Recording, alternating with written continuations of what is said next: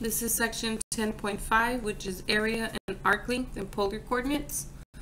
So the area and polar coordinates theorem says if f is continuous and non-negative on the interval AB, where the difference between these two values is between 0 and 2 pi, then the area of the region bounded by the graph r equals f of theta between the radial lines theta equal to alpha and theta equal to beta is given by this formula. So 1 half um, the integral of f of theta squared between alpha and beta d theta or 1 half r squared d theta. Okay, so for example 1 it says find the area of r of 4 sine 3 theta for one petal only. Okay, now just for a quick reference for the petals, when you're talking about petals of, of, a, of a polar function, um, usually the petals occur within um, pi fourths of a unit. So normally we have about four petals or five petals or even three petals, but you can usually get one entire petal within a, a pi over four. So what I typically do is if this is just theta, then you will take your increments in terms of pi over 4. However, if it is from, um, and this should have, well, the distance has to be greater than 0. Um, if we take um, 3 theta to be pi over 4, then that means theta will be pi over 12 if I divide both sides by 3. So what I'm going to do is I'm going to take my theta and I'm going to go in increments of pi over 12.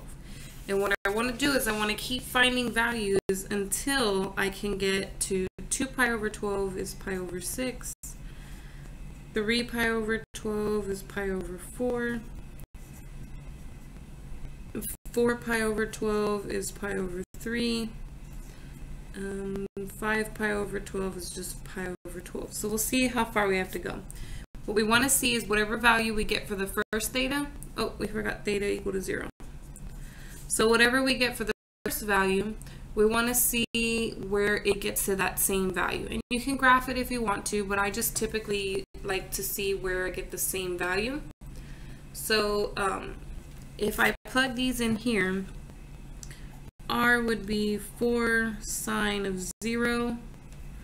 r would be 4 sine of pi over 12 because 3 times pi over 12 is going to give me pi over 4. r equals 3 times pi over 6 will give me 4 sine of pi over 2. Um, 4 and then times that by 3, we'll get sine of 3 pi over 4. And then we'll get sine of just pi when we multiply that by 3. Okay, I'll wait here. I'll write it, but let's see what we get. That would be 5 pi over 4. So sine of 0 is 0.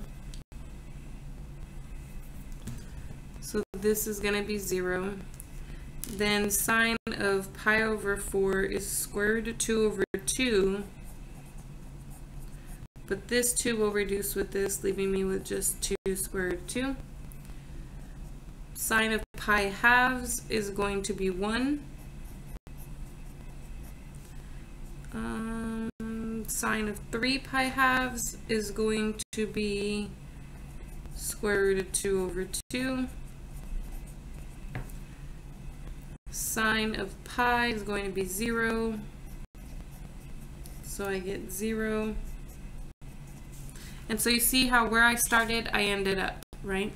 Now, I typically don't draw this, but if you want to draw it, you could. So here you have 0 and 0, so you didn't go any radius out and you didn't go any angle um, counterclockwise. Here, square root of 2 over 2. What is that value? Square root of 2 over 2, I get 0.7. So if this is 1, 0.7 is about here maybe. And then we're going to go pi 12 units. So very small amount. You're not going to go all the way to pi fourths, right? It's a very small increment. Then 4, 2, th or 2, 3, 4 units to the right. And then pi 6. So maybe a little bit more than pi twelfths. Square root of 2 over 2 again. Oh, I typed in the wrong number. That's what it is. 2 square root of 2. I'm typing in the fraction instead of 2 times the square root of 2. Ah, so that should be, this is about 2.8. I was wondering why this looks a little bit weird. So let me fix my units and we'll start this over again.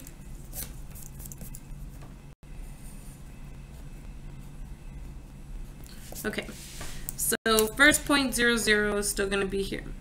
Second point is 2.8, so 2.8 is about right there, and then a pi 12th unit around that eccentric circle, right? Then 4 out and pi over 6, so about there.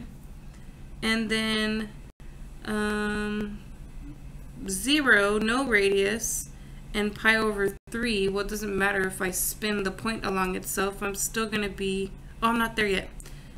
2.8 and pi over 4. So now I am here. And then 0 in pi over 3. So even if I spin the circle itself, pi over 3 units, I'm still back to here. So I started there, then I went to there, then I went to here, then I went to here. So this is one complete petal. If I keep going, I'm just going to get another petal somewhere else on the graph, okay? And I want to find the area inside this petal.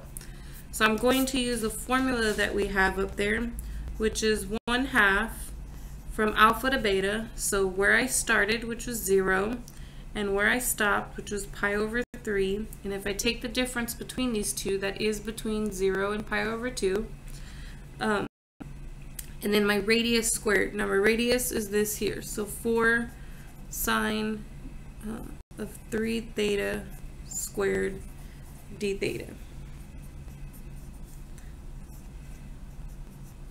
So I get 16 sine squared of 3 theta d theta. Um, that will reduce with the 1 half, so I'll get 8. And then sine squared of 3 theta. And the only way to do this is to do the power reducing formula. So I have 8 and then I have 1 minus cosine of 6 theta, double that, over 2. So if I split up my term here, I'm going to have 1 half minus 1 half cosine of 6 theta, d theta, integrate um, 1 half, I get 1 half theta. When I integrate this, I get negative 1 half. Um, the integral of cosine is sine. And if I apply u substitution for this, I will end up having to multiply by a 1 6. So I actually have, um, if I distribute this 8in and combine these two guys together, so that will be 4 theta minus 4 over 6, which is 2 thirds.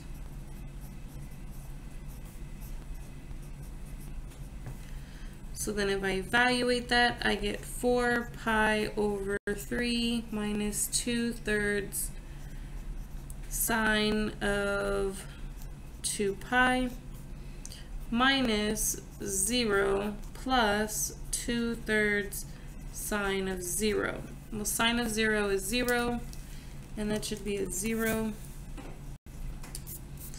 So then I just end up with this. Sine of 2 pi is 0, so we end up with 4 pi over 3. That is the area of one of those petals.